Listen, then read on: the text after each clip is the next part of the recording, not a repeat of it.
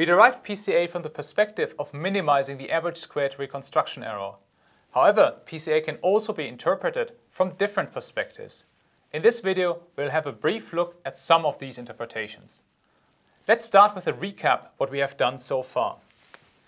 We took a high-dimensional vector x and we projected it onto a lower dimensional representation z using the matrix B transpose. The columns of this matrix B are the eigenvectors of the data covariance matrix that are associated with the largest eigenvalues. The z values are the coordinates of our data point with respect to the basis vectors which span the principal subspace, and that is also called the code of our data point.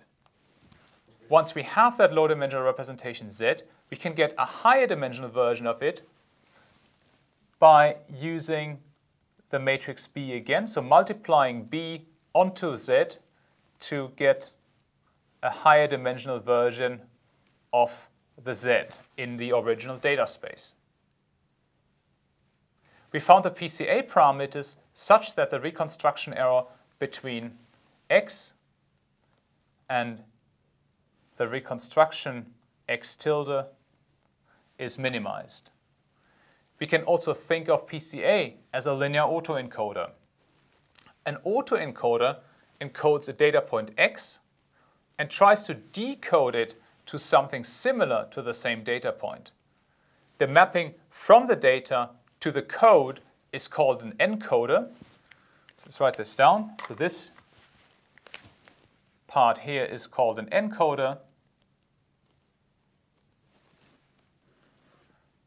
The mapping from the code to the original data space is called the decoder. If the encoder and decoder are linear mappings, then we get the PCA solution when we minimize the squared autoencoding loss. If we replace the linear mapping of PCA with a nonlinear mapping, we get a nonlinear autoencoder. A prominent example of this is a deep autoencoder where the linear functions of the encoder and decoder are replaced with deep neural networks. Another interpretation of PCA is related to information theory. We can think of the code as a smaller compressed version of the original data point. When we reconstruct our original data using the code, we don't get the exact data point back, but a slightly distorted or noisy version of it. This means that our compression is lossy. Intuitively, we want to maximize the correlation between the original data and the lower dimensional code. More formally, this would be related to the mutual information. We would then get the same solution to PCA we discussed earlier in this course by maximizing the mutual information, a core concept in information theory. When we derived PCA using projections, we reformulated the average reconstruction error loss as minimizing the variance of the data that is projected onto the orthogonal complement of the principal subspace. Minimizing that variance is equivalent to maximizing the variance of the data when projected onto the principal subspace. If we think of variance in the data as information contained in the data, this means that PCA can also be interpreted as a method that retains as much information as possible. We can also look at PCA from the perspective of a latent variable model.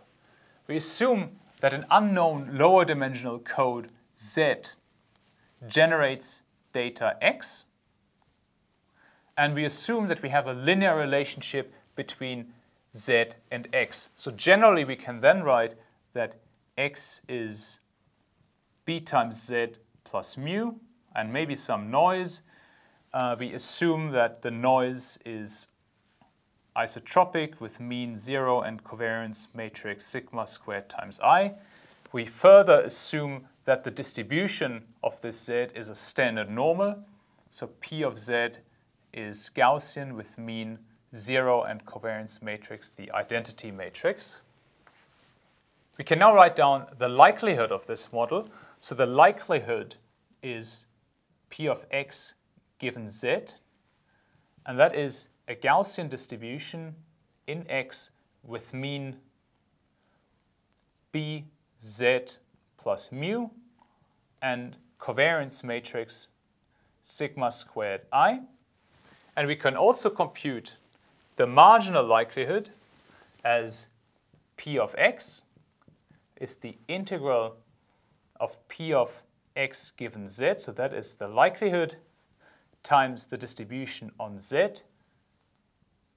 dz. And that turns out to be a Gaussian distribution in x with mean mu and with covariance matrix b times b transpose plus sigma squared i. The parameters of this model are mu, b, and sigma squared. And we can write them explicitly down in our model up here.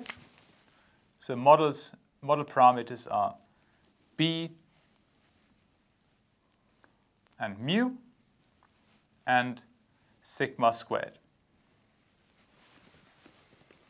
We can now determine the parameters of this model using maximum likelihood estimation. And we will find that mu is the mean of the data and B is a matrix that contains the eigenvectors that correspond to the largest eigenvalues. To get the low-dimensional code of a data point, we can apply Bayes' theorem to invert the linear relationship between z and x. In particular, we are going to get p of z given x as p of x given z. So that is the, the likelihood, which is, comes from here, times p of z. So that's our distribution that we have here, divided by the marginal likelihood, p of x, which comes from here.